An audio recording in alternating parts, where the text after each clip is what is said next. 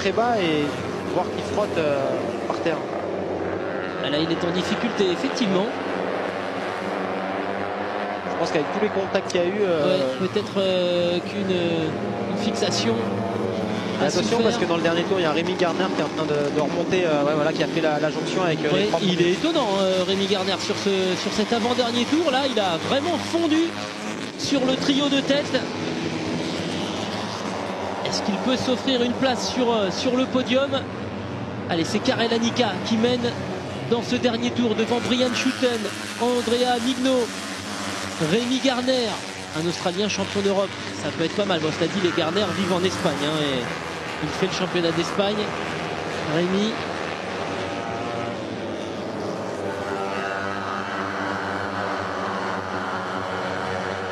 ça va être difficile d'aller chercher Karel Anika. Brian Schutten qui, qui prépare son coup. Il reste plus beaucoup d'opportunités. Voilà, il reste plus beaucoup de virages. En tout cas, Rémi Garner est vraiment à côté. euh, Et il est passé. Et il est passé. Le voici en troisième position. Rémi Garner qui fait une deuxième partie de course de toute beauté.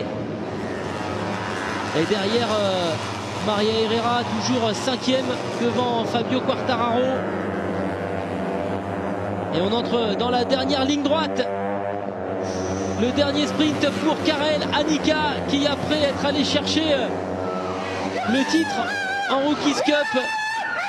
Ah, on est content du côté euh, de l'équipe euh, Freudenberg qui a fait rouler donc Karel Anika, Brian Schutten prend la deuxième place, Rémi Garner sur le podium, Andrea Migno quatrième.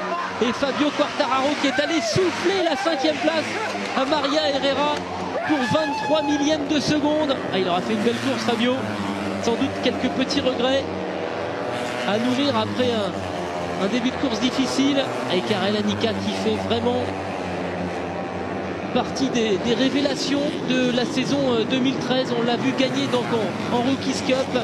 L'année prochaine, il sera en Grand Prix.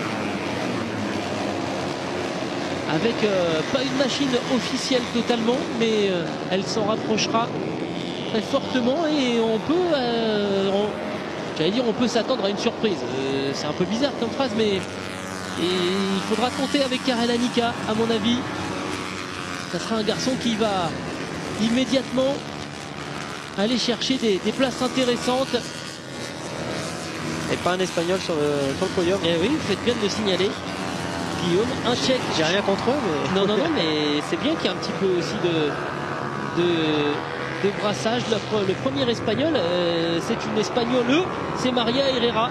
On a un tchèque, Karel Anika, champion d'Europe, un néerlandais, Brian Schutten, vice-champion d'Europe, un australien, euh, troisième, un italien, quatrième, et un français en cinquième position, Fabio Quartararo. Et Loris Cresson, lui, qui partait de la 30e place sur la grille, ramène une 21e place à la Belgique.